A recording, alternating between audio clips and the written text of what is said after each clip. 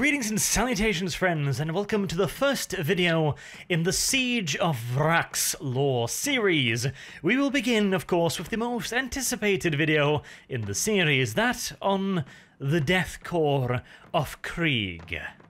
Much has of course been made about these rather famous fighters and their dour attitude, their willingness to sacrifice, and of course the fact that their world is an absolute hellhole, on a scale that is rare even within the Imperium of Man, but did you know that once Krieg was a veritable paradise world? It was rich from wide-spanning trade, export and produce, and whilst it lacked the natural beauty of a true paradise world, being of course a hive world, it was prosperous. Its citizens were about as happy as any imperial citizen of a hive world had any right to be. And ruled by the Council of Autocrats, it was a flourishing society that would go on to flourish for hundreds of years. Until finally, the ruling class decided that since they were doing such a damn good job of governing Krieg, that they deserved a little extra. After all, every few years they had to offer up significant percentages of their total produce, their wealth and industrious resources to the wider Imperium. An Imperium that barely even knew that Krieg existed. After all, when was the last time that the wider Imperium did anything for Krieg, eh? When was the last time that it had done something for the Council? Why should the Council of Autarchs, the very reason why the planet was doing so well, have to suffer these deprivations at the hand of an Imperium that hardly even cares? And due to these extortionist tithes, many of the planet's ruling elites had to languish in a mere two or three palaces.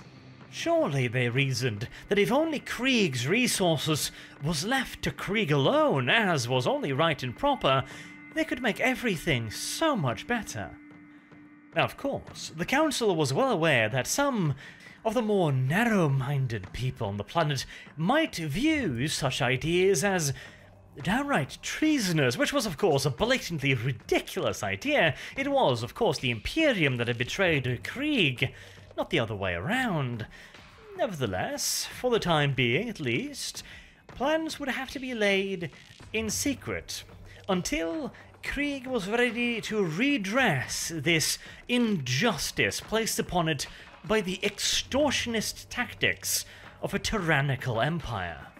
And the Autarch Council had been in charge for a very, very long time, so once they decided they were going to secede from this tyrannical empire, it didn't take long before their plans came to fruition. Having seized control of most of the governmental organizations of Krieg, along with the various governors of the Hive cities and most of the planet's PDF and Imperial Guard regiments, it looked as if their coup had not only succeeded, they had succeeded beyond their wildest expectations, it began with the High Autarch declaring martial law, and once his forces were in position, utilizing the surprise and confusion that this declaration had garnered, they declared that they were seceding from the Imperium of Man. At this point, the Council's loyalists were already in control of the vast majority of Krieg's infrastructure and military. Loyalist forces had been placed around those Imperial Guard forces whose loyalties could not be guaranteed. There was resistance, but it was confused, unorganized, scattered, and in most cases already surrounded. One of the few exceptions to this rule was Colonel Jurten's 83rd Krieg Regiment, stationed in the hive city of Ferrograd. Ferrograd's governor had been sympathetic towards the ideas of the council, but had not yet fully made up his mind. The council had let him run free because they were of the impression that he had, and that he was going to join them, something that in the end he probably would have, if it were not for the swift actions of Colonel Jurten, who moved to seize control of the hive in a military coup. Ferrograd subsequently became the focus point for the remaining Imperial Loyalist forces on Krieg, of which there were depressingly few. Some had managed to break out from the traps laid for them, or otherwise avoid the notice of the traitor forces, but they were hilariously outnumbered, and Ferrograd appeared to be literally the only hive on the entire planet that had managed to remain fully within Imperial hands. Now, of course, Hive City is a formidable defensive work in and of itself, but completely alone, surrounded on all sides on a hostile planet, and having received word that Imperial reinforcements were not coming, the Colonel was left with a bit of a dilemma. There was simply no way that he could win this by himself. He could hold out possibly for years and maybe a decade if he was extraordinarily lucky. But without additional Imperial reinforcement from the wider Imperium, there simply was no realistic hope of victory, and said reinforcements were not coming. The Council of Autarchs were entirely aware of just how wide and massive the Imperium was. They were also entirely aware what the consequences of betrayal were.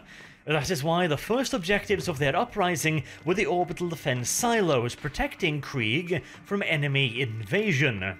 Krieg was a vital world within the Imperium, one of considerable importance, and thusly its defenses had also been prioritized quite highly. And in this particular instance, Krieg being a massive hive world, its planet-side defenses were already formidable in the extreme, every single hive city being home to billions of Imperial citizens, potentially millions of PDF troops, and gargantuan defensive works built into the cities themselves. If the enemy managed to reach the planet, the hives would be able to hold out for years.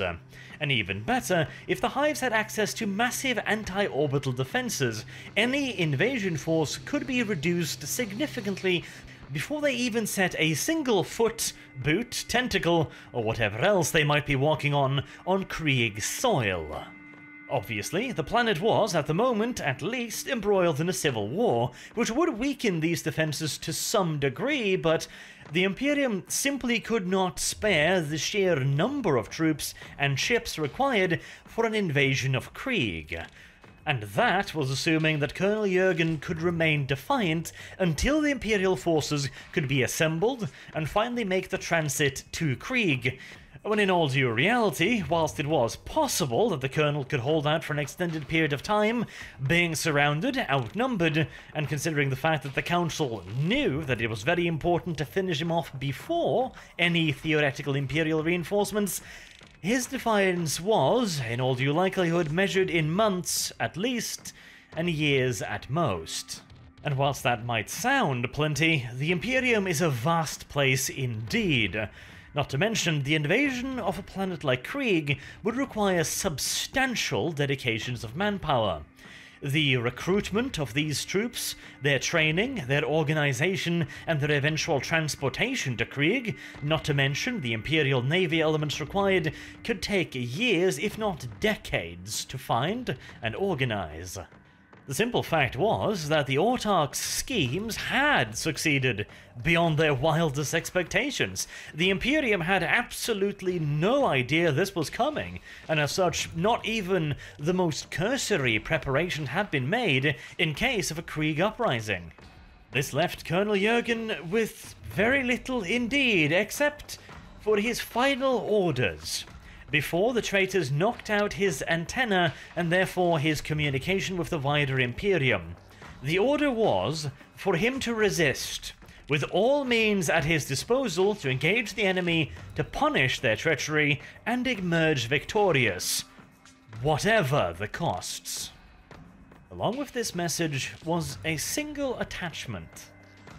A string of binary code which once presented to Ferrograd's tech adept, revealed the location of a vast armory beneath Ferrograd, along with a second lengthy string of binary code. Launch codes. Finally, on the day of the Feast of the Emperor's Ascension, all the preparations were complete. Suddenly, the traitor forces of the Autarch Council found themselves assaulting undefended positions. They pushed further into the hive of Ferrograd and found nothing. Until finally, they arrived before the titanic blast doors leading into the hive proper. Sealed, shut, and welded. Before the secessionists could really start figuring out what this all meant, it was all made blindingly obvious to them. As the earth beneath their feet started to shake and massive pillars of flames reached skywards. Kilometers away, the operators of Auspex systems could only watch on helplessly as dozens and then dozens more until hundreds of Auspex contacts were rising up from the hive city of Ferrograd. It turned out that the hive city of Ferrograd had been chosen to store vast quantities of Dark Age of technology weaponry of the nuclear kind and of a wide variety of flavors as well. Some of the weapons were designed to explode in the upper atmosphere, scattering nuclear radiation across the entire planet. Others were designed to land on major secessionist hive cities and take care of them in somewhat more conventional fashion. The result was that first the planet was ravaged by hellish nuclear firestorms, and when those subsided, the planet was then covered in nuclear winter. And who doesn't love a good old fashioned radioactive snowball? Now, of course, there is really only so much you can do to prepare yourself for a literal nuclear apocalypse, but the citizens of Ferrograd, those deemed necessary to the continued survival of the Imperial Loyalist population, and of course its defenders, had done what they could to prepare themselves for the nuclear fallout they were about to unleash. The secessionists, however, well, they didn't even know the weapons were there. And as such, their preparations were less than entirely adequate. Now, of course, once again, I must mention that hive cities are designed to survive pretty much anything, but only if they're given enough actual notice to prepare for said eventuality. A direct nuclear strike, well, while survivable, it was certainly going to strip off quite a bit of ablative protection, not to mention a few thousand hab blocks.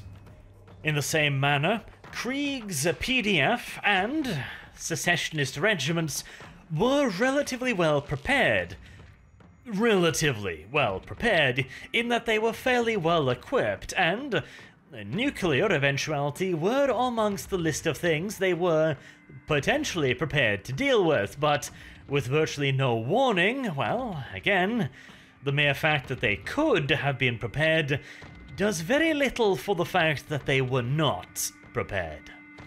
Once the, in this case, literal firestorm had died down and the nuclear dust had begun to settle, the secessionists were not done for. They had not been destroyed as some had hoped, but it had certainly leveled the playing field. As it now stood, the Loyalist possessed millions, possibly as much as a billion or two civilians, which could eventually, of course, be turned into yet more meat for the grinder, and an unnumbered quantity of Imperial Guard regiments, probably stretching into a couple million as well. The secessionists still held the considerable military advantage, but they now found themselves fighting in an irradiated wasteland. This meant that they would have to deal with actually surviving first and fighting a war second, whilst the surviving loyalists found themselves with no such impediments. After the Loyalists launched a major campaign of counterattack, the two sides eventually settled into a long and protracted stalemate. The situation in which both parties now found themselves, that of fighting amidst an irradiated hellhole of a landscape, meant that there weren't actually too many areas of the planet that could actually sustain extended combat. The population had long since retreated far below ground, and combat now took place either in large scale underground engagements where both parties were digging tunnels against one another, or in limited above ground engagements. This particular form of warfare turned out to be remarkably vicious. On the one hand, the trenches needed to be occupied at all times in case the enemy launched a surprise attack. However, the men that actually had to occupy those trenches could only do so for extremely limited periods of time before they were exposed to lethal doses of radiation. This meant that the men on the surface would have to constantly be cycled in and out to at the very least extend their lifespan. Don't get me wrong, once they were deployed on the surface, their life was a finite resource, something that would come to greatly colour the nature of Krieg's warfare, but at the very least, the resources that was their lives could be spent as slowly and grudgingly as possible. A second side effect of this very limited operational time was that any offensive had to be planned to be absolutely gargantuan. Once large numbers of forces were dedicated to a surface conflict, they had to gain some ground. Every available man had to be thrown against the objective in literal human wave style warfare to assure that at least something was gained from the expenditure of their lives. But again, considering the fact that the vast majority of men committed to such an action were essentially already dead men walking once their names were called, it meant that the war was a slow one indeed. The casualty numbers apocalyptic. It became all-out warfare, with every man, woman and child dedicated to nothing but the eventual end of the conflict, which would finally arrive 500 years after the ruling Council of Autarchs turned their back upon the Imperium. And as for that very Imperium, they had turned their back on Krieg in return. It turns out that the Council of Autarchs weren't entirely mistaken. Once Krieg was turned into a radioactive hellhole, the White Imperium simply had no use for them. It might sound cynical, it might sound monstrous indeed, but the simple fact was that the benefits of reclaiming Krieg were dwarfed by the costs of doing so. And as you can probably imagine, after 500 years, it came as quite a shock to the Imperium when they were contacted from Krieg, a planet that they had long since written off as a death world at absolute best, and in all due likelihood simply just a dead planet. And whilst, of course, the saviour of Krieg, and amusingly enough, its destroyer, Colonel Jurgen, was long since dead, the people of Krieg had inherited his goal of one day returning to the Imperium of Man, and so here they were, but they had nothing to offer the Imperium.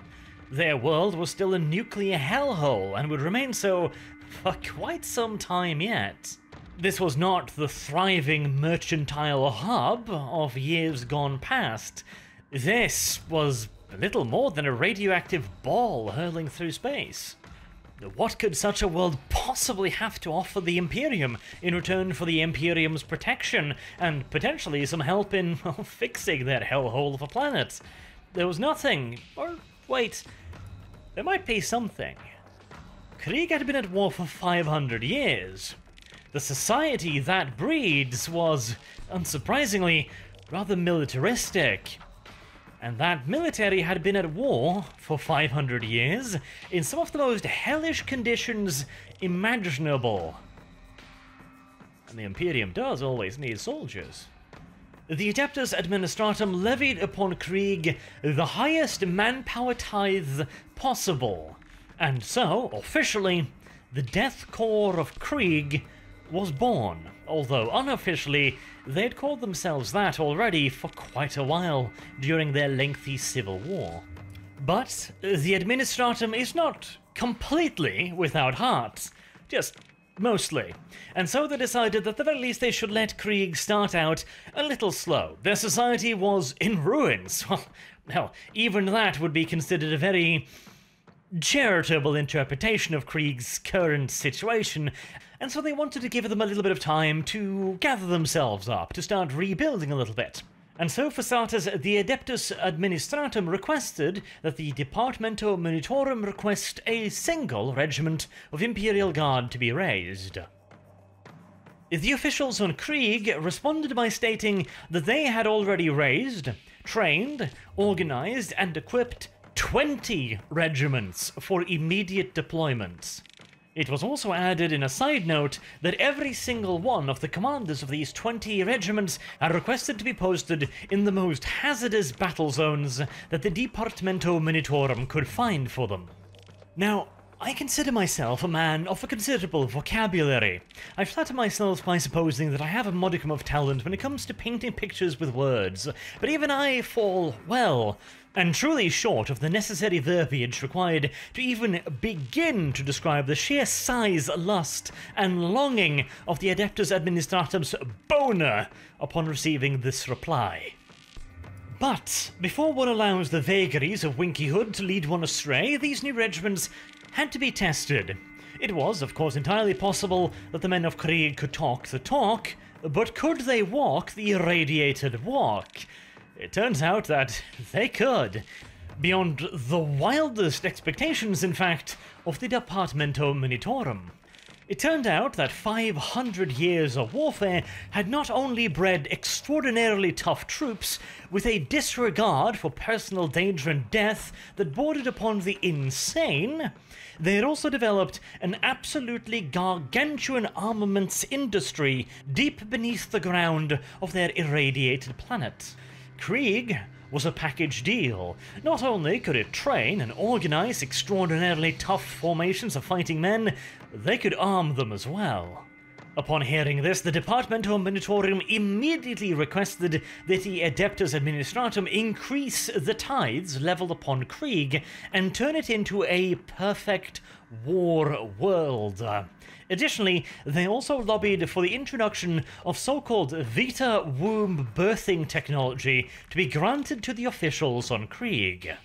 And this was a very, very big thing indeed. The technology of Vita wombs is controversial, shall we say. In an Imperium that values the flesh, the humanity of its subjects more than anything, and in fact that views any form of artificial intelligence to be naturally inclined to wipe out any form of life, having people born entirely from artificial wombs, well, that's...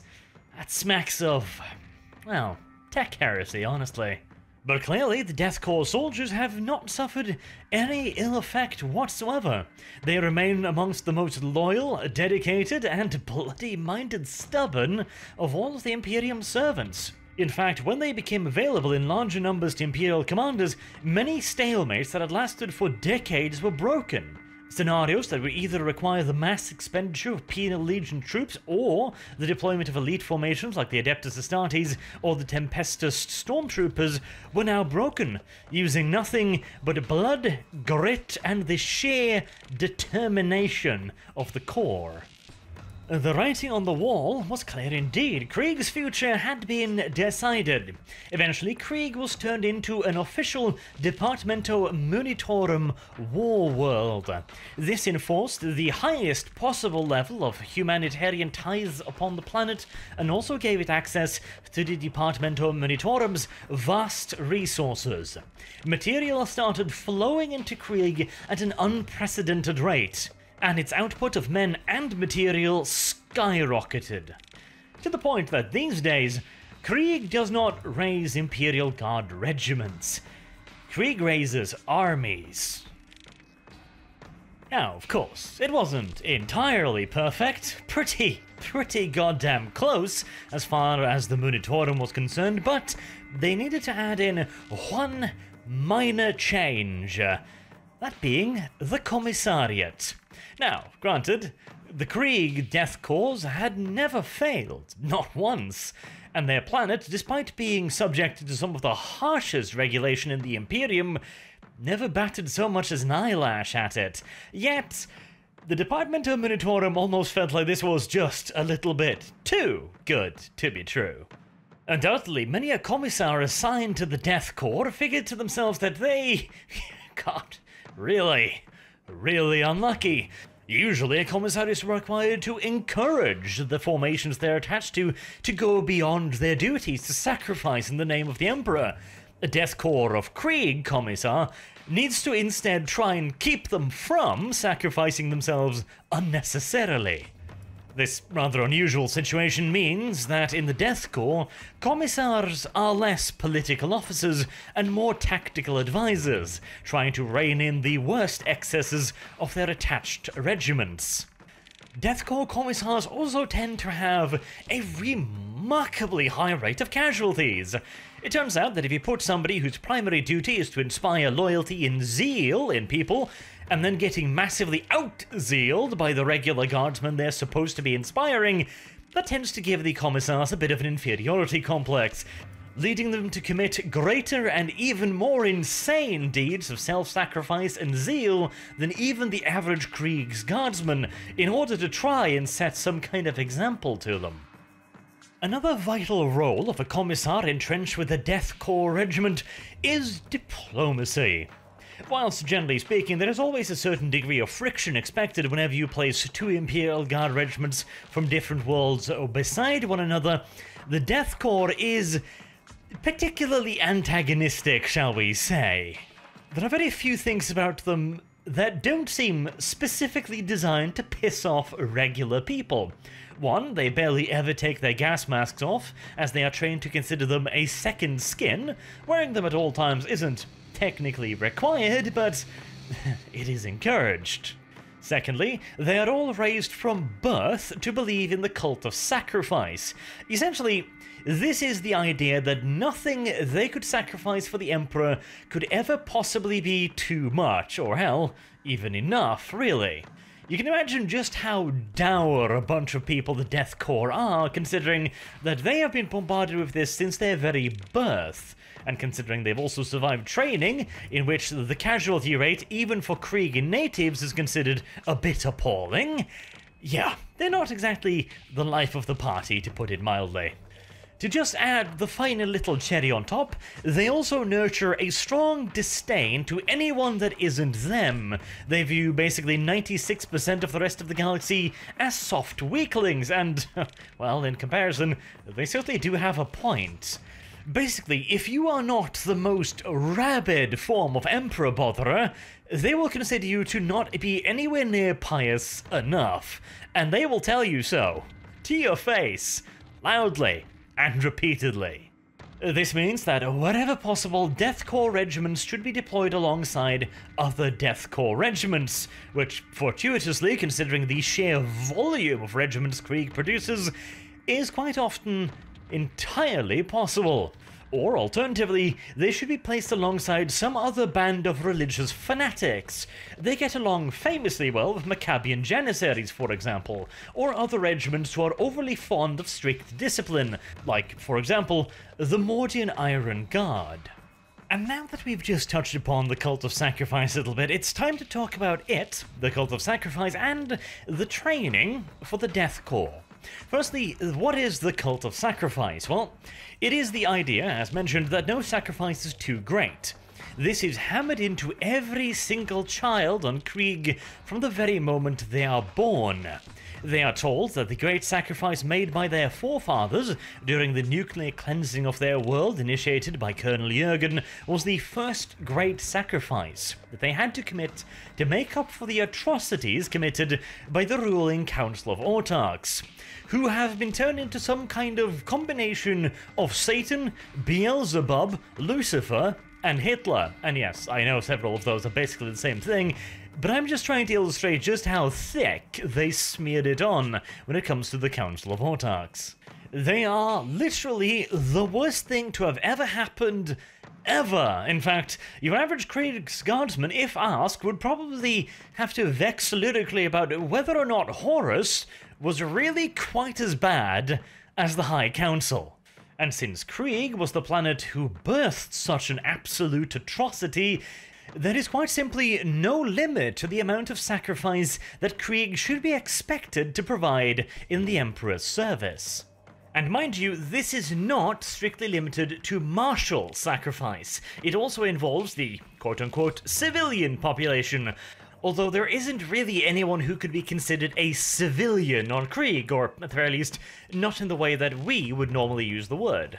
You see, the entirety of Krieg society is focused around nothing else but churning out as many guardsmen, as many guns, as many artillery pieces, as many tanks as it is possible. This means that essentially the entire population is engaged in warfare in one way or the other. All of the fit menfolk, and indeed even the non fit ones, are pretty much universally recruited into the Death Korps of Krieg. Now, of course, there are always the occasional exceptions here and there, but they are few and far between.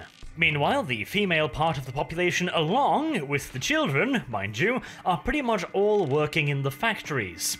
As you can probably imagine, there's not much of a childhood period at all on Krieg. You're working in the factories in one way or another pretty much as soon as you're able to walk on your own. For the male part of the population, this is a brief period of relative safety. Relative, as in there's only so safe you can ever get whilst living on a highly industrialized subterranean hive world where the entirety of the rest of the planet, e.g., anything above ground, is laced with lethal radiation.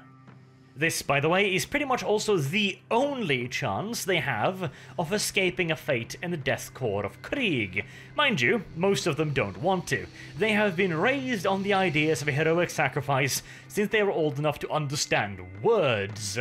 Most of them consider the idea of finally being recruited into the Death Korps as an honor, something that they look forward to, something to celebrate when it happens, but if they manage to develop some form of talent or they prove themselves particularly valuable.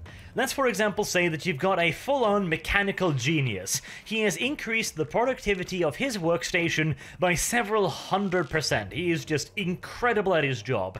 In that case, his overlord might decide that it would be better for the wider war effort for him to remain on Krieg, but these are very, very much so the exceptions rather than the rule.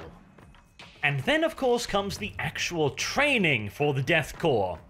If you've been paying even the slightest amount of attention, you will probably have gathered by now that Krieg is not exactly a nice place to grow up. You wake up at 5 o'clock in the morning, you've got maybe half an hour to chow down some absolutely terrible breakfast, probably consisting of some form of regurgitated, reconstituted, and recycled waste material, after which, it's off to work, which almost invariably takes place in some form of massive industrialized factory complex that never ceases operation. You've got a 12 hour shift, and some sad ass motherfucker has the 12 hour shift after you. Unless you are fortunate enough to be some form of administratum or departamento munitorum clerk, your job is likely to be noisy, filthy, dangerous, and exhausting. Furthermore, you are fed just enough to maintain maximum productivity and make sure that you don't die, at the very least, not from starvation. And if you are lucky enough to actually receive wages, it's not going to be a whole lot, to put it like that, and even if you did get a lot of money, what the hell is there to spend it on? You are on Krieg. Luxury goods is not exactly at the top of the priority list for the Departamento Munitorum. And yet, all of that is going to appear as if nothing more than a pleasant, fluffy dream once you're finally enrolled into the Death Korps of Krieg. Those of you who have been in the army have probably had the pleasure of getting intimately acquainted with a drill sergeant or two.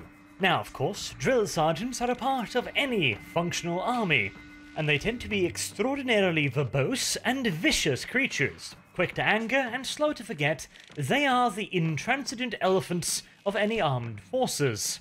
Furthermore, they primarily sustain themselves by feeding off the suffering of others. Therefore, it is most fortunate for them that their chosen profession provide them with such an ample supply of fresh-faced recruit to torture.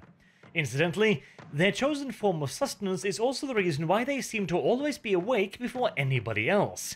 As you can probably imagine, after going several hours without bullying some poor white shield, their monstrous little bellies must be absolutely famished. The point is that the drill sergeant truly is one of God's more heinous creatures, but there is also a soft, quivering pinkness to them. At the end of the day, despite their fondness for pain and suffering, their job is to break you down, so they can build you up better, and some of the fluffiest men I've ever known wear their stripes with pride. The Death Korps also has drill sergeants, but there is one pertinent difference. they have no interest in tearing you down to build you back up. They are of the opinion that if you can be torn down in the first place, then you are simply not Death Korps material. And the best thing they can do, both for you and the Korps, is to break you as quickly as possible. Either fatally, or by sending your, in all due likelihood, crippled ass back to the factory lines. Death Korps training, unsurprisingly, is a bit on the brutal side. It is not necessarily that different from the training doctrines in and of themselves of other regiments. However, the key difference lies in the implementation. Other regiments have mock battles. The Korps has them, but they use live artillery. Other regiments may train in bayonet combat. The Korps also does this, with unsheathed and fully sharpened bayonets. Other regiments may train men to stay down by firing a machine gun over their heads as they crawl along a trench. The Korps does this as well. It simply dispenses with the pretense and orders the MG crew to try their damnedest to hit anyone stupid enough to be spotted. The devil, as they say, is in the details, or in this case, I suppose it's probably more like the Grim Reaper. And let's pause for a moment on the idea of mutilation on Krieg, yes, I know, a somewhat morbid pause, but I wish to try and emphasize just how much of a shithole this really is, because the simple fact that you're basically a slave, chained forever to a massive churning war machine that cares diddly dick for your well-being, that alone is not quite enough. Imagine being one of the menfolk on Krieg. Imagine entering into the Death Korps and getting hurt. Imagine standing in the wrong position when an artillery shell falls out of the sky and losing half of your leg, for example. In our modern society, there is a vast network of support organizations specifically designed to try and allow you to continue living your life with as little inconvenience as possible considering your injury. On Krieg, not only does that not exist, but think about this. If the entirety of society has been raised on the idea that sacrifice is everything. Indeed, the only value your life has is the amount of sacrifice you are capable of personally making in the name of the Imperium. How do you think they might treat somebody who, technically speaking, failed to make the maximum sacrifice by becoming a member of the Death Korps Krieg and dying for the Emperor? And not only that, he gets sent back into the rest of society as a cripple. He is going to require special resources. He is going to require medical time. He is going to require certain aids, crutches, wheelchairs, these kinds of things. And he is probably going to be less effective at producing stuff in the factories than a hale and hearty man. Obviously enough. How do you think such a society might treat someone like that? I'd reckon not particularly fucking good. If you're gonna get into an accident while training for the Death Korps, it better be a fatal one, because the old saying holds true, especially on Krieg. No matter how shit your training is, no matter how arse your life has been up until this point, it can always get worse. But hope isn't entirely lost for the poor bastard who inevitably gets enrolled within the Death Korps, because there are a few ways he could actually, possibly, potentially, maybe, although extremely unlikely, better his lot. Not that your average Death Korps guardsman would actually give a shit about that, but still, for the sake of argument. There are several positions within the Death Korps that are, if not particularly cushier, at the very least slightly safer than the others. Krieg does not have much of an aristocracy, or, well, at least not anymore. The most in the way of an aristocracy they might have are the various supervisors and bosses that run the factories, and those really aren't much of an aristocracy at all. And that of course means that the officers of the Death Korps are invariably drawn from the Death Korps itself. Generally speaking, they are veterans from other regiments already formed that, through a mixture of luck, skill, perseverance, and perhaps a little bit of the Emperor's favour, have somehow managed to actually survive in the Death Korps for an extended period of time. Now, you might think that mere survival itself isn't really enough of a qualification for officers training, but, well, this is the fucking Death Korps. They really don't have a whole lot of other qualifications to go by, frankly. And considering the relative simplicity of the Death Korps' favourite tactic, e.g., line up vast quantities of men and then walk them slowly towards machine gun positions, you don't exactly require a Lord Solar level tactical genius to implement them, at the very least with a decent degree of precision. Though to be fair, this is actually a bit of an acquired skill. If you were to put, for example, a Cadian officer in charge of a Death Korps formation, he probably would lose all respect amongst his men the moment that he didn't suggest the most ridiculous, suicidal, self-sacrificing tactics possible, and if he were so silly as to suggest that maybe he should direct the battle from a bunker somewhere behind the lines, well, in all due likelihood, his soldiers would simply just wander off and do whatever they felt best, as clearly that officer was utterly insane. And of course, the reverse scenario also holds true. There has been experiments where Death Korps officers have been put in charge of non-Death Korps formations, the idea was that since these officers clearly have a certain knack for completing the most complicated of battlefield objectives, you know, that might have more to do with the forces they are commanding rather than their tactical flair, but hey details, they should be put in charge of other regiments. The problem is, of course, that the men of Krieg are a very, very special breed indeed, and even Maccabian Janissaries will probably flinch at the idea of simply walking slowly across an open field towards pillboxes. It really does require a certain mindset, and that mindset is not found in many places outside of Krieg. As such, a Death Korps officer in charge of any non-Death Korps regiment is likely to find himself sacrificing for the Emperor in a highly accidental manner, probably by falling on his bayonet several times or accidentally discharging his last pistol into the back of his skull. You know, that kind of stuff. But even then, despite the fact that Death Korps officers tend to have basically as Spartan, if not even more so of a lifestyle than the average Krieg guardsman, because after all, he needs to set an example, at the very least he has slightly higher odds of living than the rest of the guardsmen, since even the most self-sacrificing Krieg officer understands that he is far more useful in directing his men rather than wandering out in front of them and getting shot first. Now, granted, they still do prefer directing their men from a couple dozen meters behind the front line, rather than three and a half kilometers, so, you know, safe is a relative term, yes, but it is safer, and as an officer, you get access to some of the perks of being an officer in Death Korps of Krieg. These perks are you get your personal little posse of a command squad, you have a dude to carry your Vox for you, you get a fancy ass helmet with a golden bird on it, and you get a kick ass greatcoat. If that isn't a step up, I just don't know what is. But, of course, there is a teeny weensy tiny little problem, namely that to actually become a Death Korps officer, you will have to survive the Death Korps for a very, very long time before that point, which, well, let's face it, that could be rather complicated. But there are several other specializations within the Death Korps that might possibly give you a halfway decent chance of not getting brutally maimed and murdered, at the very least in your first engagements. One of these would be the Death Korps Grenadiers.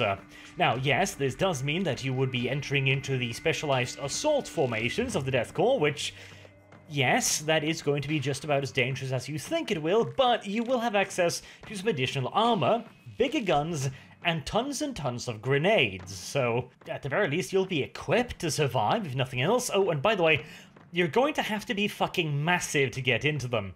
The Death Korps Grenadiers are kind of inspired by the Potsdam Giants, which is a formation from our own military history, where a particularly faggoty little Prussian prince decided that his special guards unit should be made up of nothing but massive strapping menfolk who looked adorable in uniform.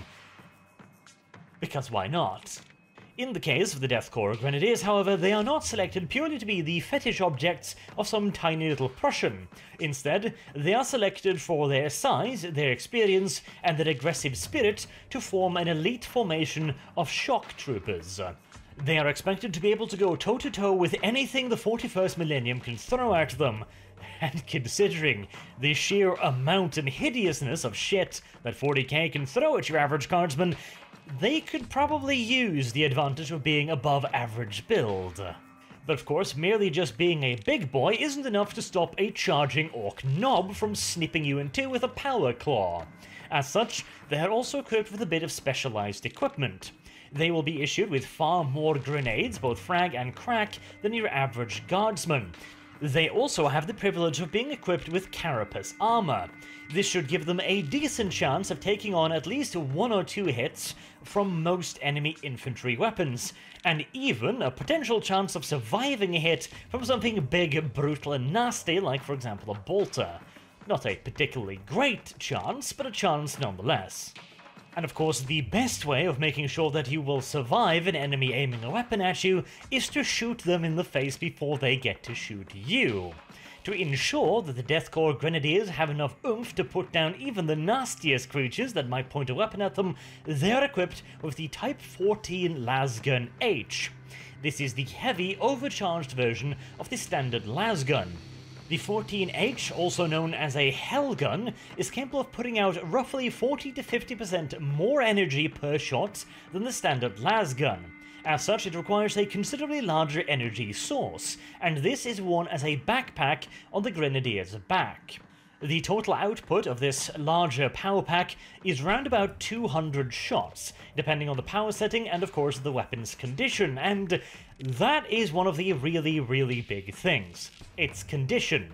You see, whilst the Hell Gun is a considerably more potent weapon than the Lasgun, for example, whilst the standard issue Imperial flashlight might in most cases tickle an orc, and you're going to need half a squad's worth of them to really put the bastard down, a Hellgun blast to the face is going to put most greenskins down rather hard and quickly. This increased killing power, however, comes at a severe cost, both to the total capacity of the weapon, a mere 200 rounds, which is not fantastic at all, considering the sheer size and weight of the contraption, in addition to, of course, the fact that the Grenadiers are usually used as shock troopers. That means close-in, personal, and brutal fighting. They might also be required to hold the objectives they just recently captured for extended periods of time while the rest of the Korps batter their bloody little asses to them thusly having a relatively mere 200 rounds at one's disposal is not ideal. Of course, steps are usually taken to remedy this. Whilst the sheer size and bulky nature of the pack means that it would be highly impractical to have one man carry two of them, Grenadier formations could, however, and should, wherever possible, be supported by Chimera armored transports, not only to ensure that the Grenadiers actually make it to their target, but also so that the Grenadiers can shove the little Chimeras as full of additional power packs as humanly possible. Another drawback, however, that is considerably more difficult to get around is the fact that the Hellgun is an extraordinarily temperamental little lady, and if you do not take the absolute best care of her, she's going to act up at the absolute worst possible timing. The Hellgun requires extensive, lengthy, and complicated maintenance, and it requires it often. Otherwise, the power of each individual Las Blast will start to decrease, the rate of fire will start falling off, and the weapon itself will start developing some rather unfortunate and wonky side effects. Let's just say that if you're carrying around a weapon capable of stopping an orc in its tracks, then you probably don't want it overheating too badly, now do you? And one final little problem. The Hellgun is moody at the best of days. This means that using it as a close combat weapon, as you can do with the humble lasgun by bashing someone over the head with the butt end, or using it with a bayonet, is simply not an option. If you whack somebody over the head with a hell gun, well, you'd best be prepared for a somewhat um, explosive finale, let's just say. It's not guaranteed that it'll blow up, but the odds are not on your side. Additionally, the Hellgun does not come with a bayonet lug, and considering, again, that these are stormtroopers expected to get up close and personal with the enemy, that is a pretty major problem once again. And no, unfortunately, you can't just scratch build one and attach it, because the problem isn't the design of the barrel. The problem is that the las bolts fired from the weapon are so hot that it will literally start melting the bayonet. The Hellgun, the poor thing, has a lot of drawbacks, but The men of Krieg follow regulations, and regulation says that grenadiers are supposed to carry hellguns. At least it is some small comfort that grenadier formations also use a high percentage of specialized weapons flamers, shotguns, plasma guns, melter guns, that kind of stuff. Although, I'm not entirely sure whether I would prefer to carry a hellgun or a plasma gun, since both of the weapons have an uncomfortably high percentage chance of murdering their users. It is a very, very small wonder indeed that casualty rates amongst the Grenadiers are particularly high, even amongst the Death Korps of Krieg. This is also the reason why they're given the special cool looking helmets with the skull faced mask on them, because the men wearing these helmets are as good as dead. On average, 8 out of every 10 grenadiers will end up in a very small box if he's lucky, or smeared across the landscape as so much pizza topping if he isn't. But hey, at least he had the honour of being selected by his Watchmaster or Commissar to join the Grenadiers, the elite of the Death Korps of Krieg. And it really is considered a privilege and an honour Granted, they don't have the right to refuse the honour either, but an honour still is an honour. And as for privilege, well, it doesn't have much in the way of privileges. It is not a promotion, you retain the same rank as you did in the regular Death Korps, but, well, you get a fancy helmet, which is going to end up getting you killed, granted, but hey, details, and if you should be so incredibly fucking lucky as to actually survive that makes you eligible for Watchmaster training. And Watchmaster is the first official rank one must achieve on the long and extraordinarily thorny road towards that fancy ass officer's helmet, and is de facto a non commissioned officer, the rough equivalent of a sergeant in other Imperial Guard regiments. As you probably gathered by now, when a Death Korps regiment is raised, all of its officers, including its NCOs, are brought in from other formations that have, in all due likelihood, been wiped the fuck out.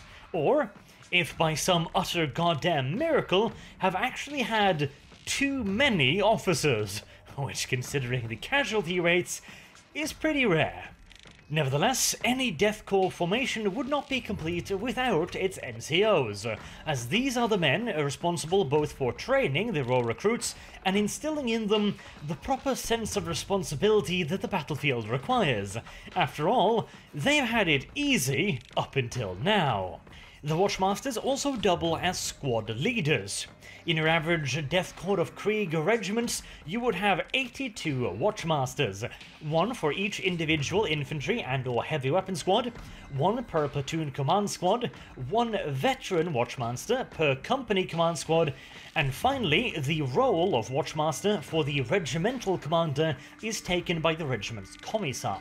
Furthermore, each Watchmaster has himself a personal little butt boy, a teacher's pet if you wish, this is his senior guardsman aide.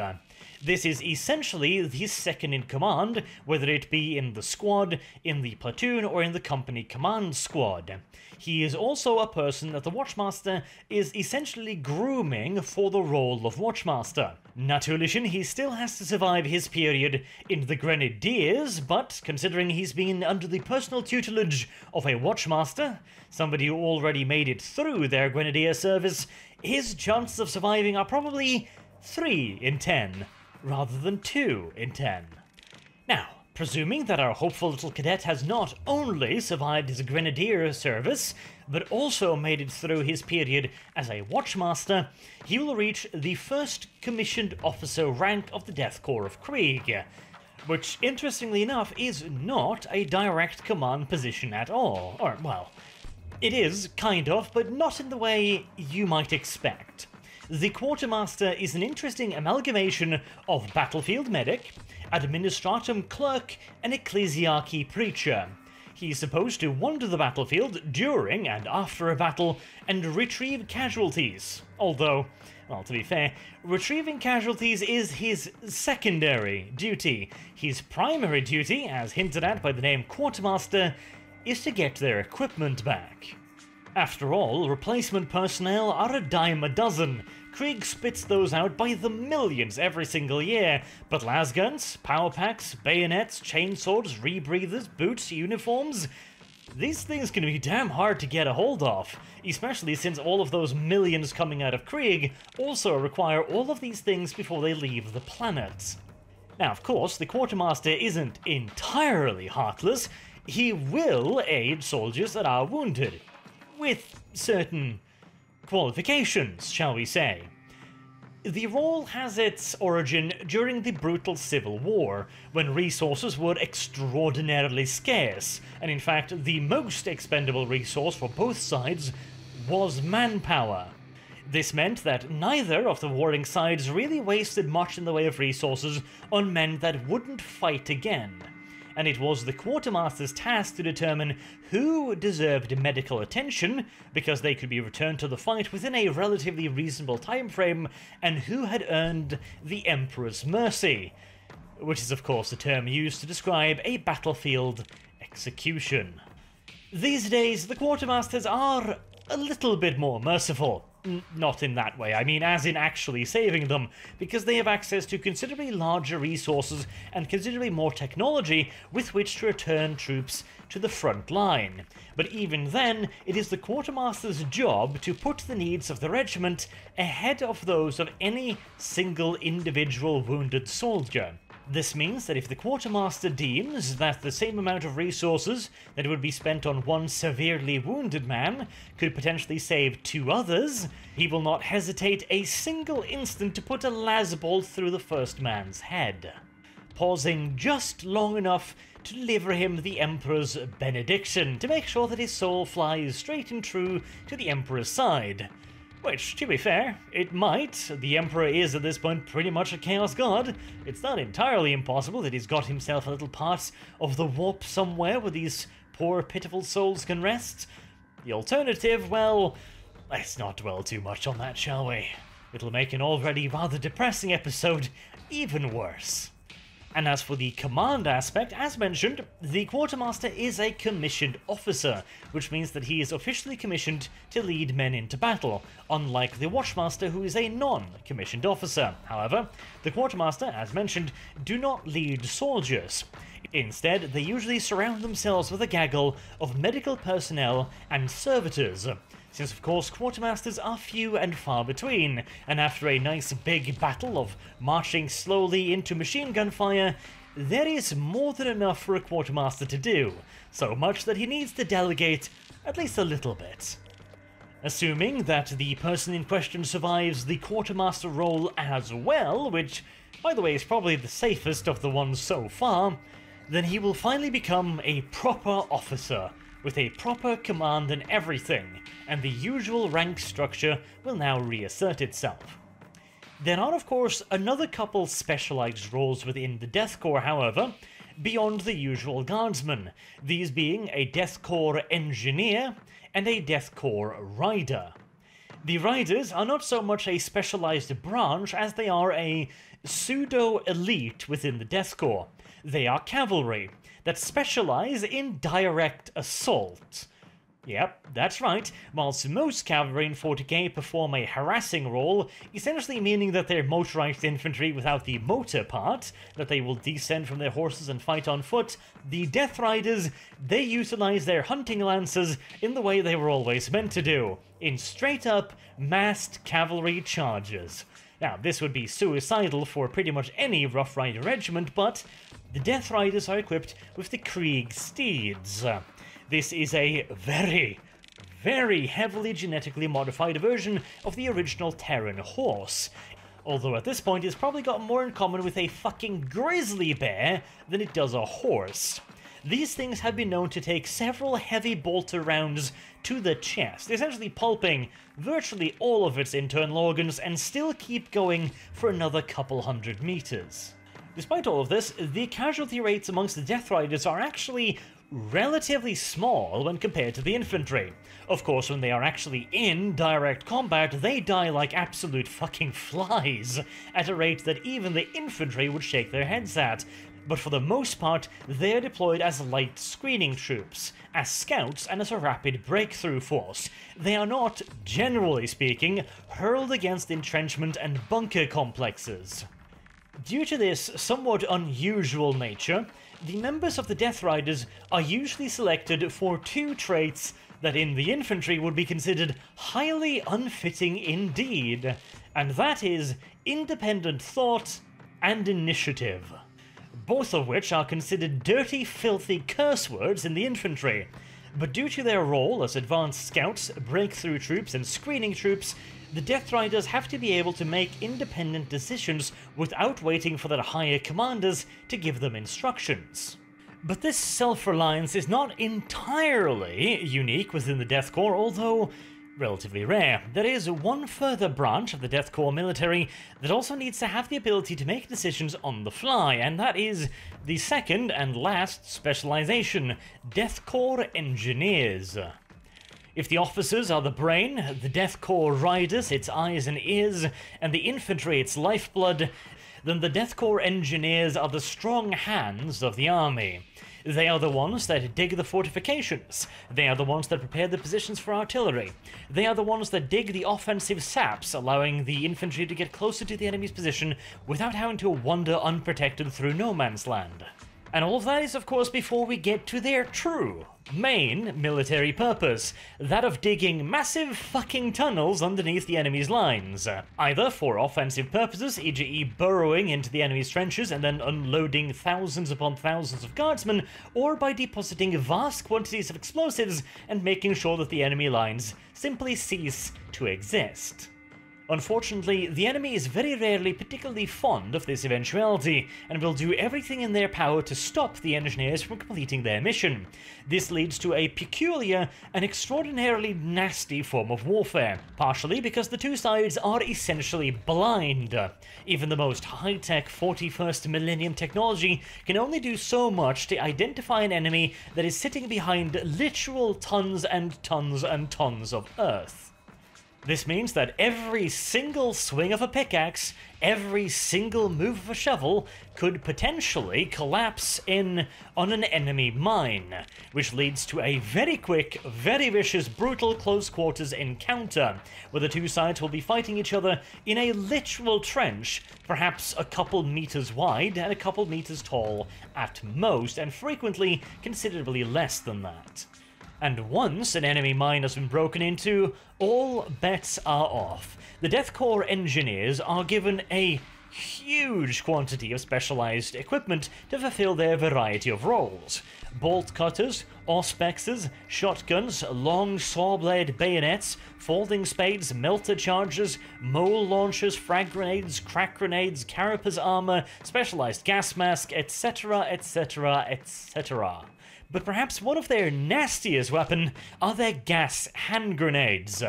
These pump out a particularly vicious form of gas that is capable of even eating through gas masks if they are exposed to the gas for long enough periods of time. Now, of course, the Death Korps engineers are fully aware of this, and yet they will not hesitate a single second in deploying these weapons. Any and all actions taken underground are bound to be short, vicious, and extraordinarily bloody for all parts involved. And perhaps the worst thing is that it is far easier to collapse a mine than it is to build it. Which means that when a mine is discovered, the enemy is sitting on all the cards as to how to deal with it. And even if the Death Korps engineers are capable of breaking into the enemy mine quickly enough and decisively enough to stop them from collapsing it, you can bet your happy little ass that they will definitely be collapsing the exit. This can, in most cases, lead to the Death Korps engineers losing days, weeks, possibly even months or years worth of work in mere minutes. It can be an extraordinarily trying form of warfare. Not only are you under constant stress, due to the fact that at any moment all hell can break loose, you also have to deal with the fact that rather frequently all of your hard work is going to be for absolutely nothing. It's the kind of warfare that is quite likely to break a man, but fortunately, the men of Krieg have seen worse, and will continue to see worse for as long as they are serving within the Death Korps. If anything, this really is the form of warfare that suits their demeanor the absolute best. And finally, of course, we come to the humble Krieg Guardsman. There's nothing particularly special about him, except for the fact that he is probably the toughest fighting man in the entire galaxy. Of course, except for the post-human variant. He's also equipped in a rather fascinating way. On one hand, he has a very high-tech and very powerful respirator unit, along with a fully chemically and biologically sealed uniform. Their boots, their gloves, their greatcoats, their helmets, their respirators, absolutely everything is worked with special chemicals. And the guardsmen are constantly resupplied with fresh pots of this chemical to rub into their clothing making sure that he remains proof against practically anything and everything the enemy can throw at them. Once fully dressed up, a Death Korps guardsman is essentially invulnerable to any and all forms of bacteriological or gas-based warfare, with a few exceptions, the Life Eater virus, of course, being one of them.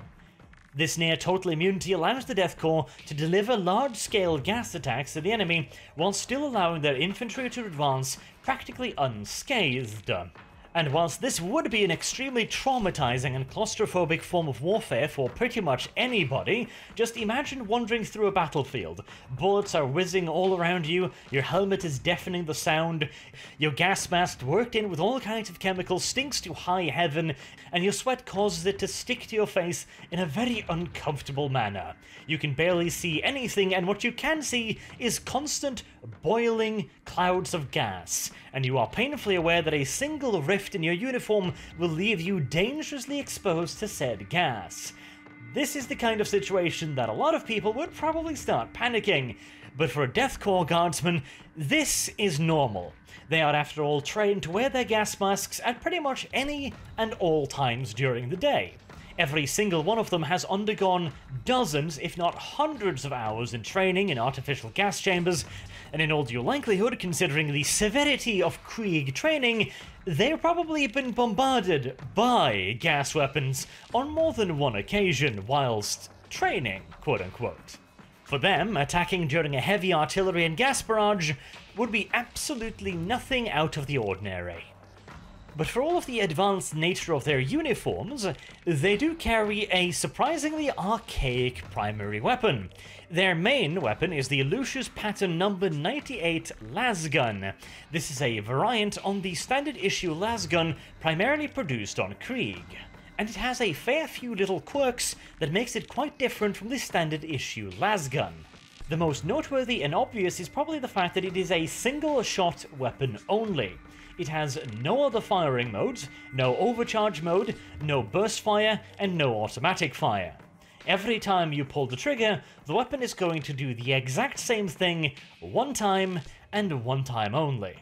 In return, however, the weapon is considerably more powerful than your standard issue lasgun, round about 12 to 15% more oomph per lasbolt. This does, however, also come at the cost of rate of fire, with the number 98 firing considerably slower than the standard issue lasgun. And finally, to really hammer home the point, due to the increased power of the weapon and the fact that it uses a standard las pack, it only has 25 rounds per power pack magazine. The Lucius Pattern number 98 lasgun is a precision weapon. It's got the sheer force to put practically anything on its ass, but it requires a cool head and a steady pair of hands to get the most out of it. This is definitively not a weapon for those easily frightened. And finally, of course, every Krieg guardsman's favourite possession, their combat bayonet. A 45 centimeter long sword bayonet made out of specially treated razor sharp plasteel. The Death Korps of Krieg's elan and bravura on the charge is well known throughout the Imperium, and along with their VAT burst technology, they were also granted the standard template construct for a special form of combat knives. This STC technology creates knives that are lighter, sharper, and easier to maintain than pretty much any other bladed weapon in the Imperium, and it is more than capable of making a complete and utter mockery out of practically any form of standard issue body armor. And speaking of armor, the Death Korps doesn't get any, except for their greatcoat, which will provide some form of limited ballistic protection, but not much. It might be enough to save a Death Korps guardsman from a hit by a ballistic or las weapon at the extreme end of its effective range, but you probably don't want to bet on it. Of course, there is also a pair of shoulder guards, but oh wow. I suppose that if you are so lucky as to get shot only in the shoulder, then God Emperor knows, I suppose. They might save you, but their primary purpose is simply to have the regimental number along with the individual infantry number placed upon them. Basically, so that the quartermasters can have an easier time checking off the casualty lists. As for non-combat related items, the Death Korps of Krieg Guardsman will carry with him two different maintenance kits. One for his number 98 lasgun, which due to the sheer amount of heat it produces can be a somewhat temperamental weapon, and one for his respirator, which is probably hands down the most complicated piece of kit he possesses. These are both carried in a standard issue leather backpack. In addition to this, he also has a bedroll, which doubles as a waterproof half shelter, and a series of dry tin canisters. These are quite special in that they are isolated from the outside environment, which means that they can keep food and other perishable items fresh and edible even in the most hostile of climates. And, of course, considering their love for siege warfare, they carry a series of entrenching tools. Usually this is a foldable spade, but in the case of heavier entrenchment works, they will be issued with pickaxes and larger shovels. As for ammunition, the standard loadout is four lasgun power packs, along with a single frag grenade and a single crack grenade. Additionally, each member, with the exception of the sergeant and the senior guardsman, is expected to carry one form or another of ammunition for the squad's specialist gunner. This could be hydrogen flask for a plasma gun, additionally promethium for a flamer, grenades for a grenade launcher, or energy packs for a melta gun. Now, in reality, this loadout is a little bit light, since it would give the average guardsman about 125 rounds of ammunition for his lasgun, which probably is nowhere even remotely close to enough for an extended engagement. And whilst most guardsmen understand rather quickly that the art of scavenging ammunition is probably the most important art a guardsman could ever learn, on Krieg, they follow the rules.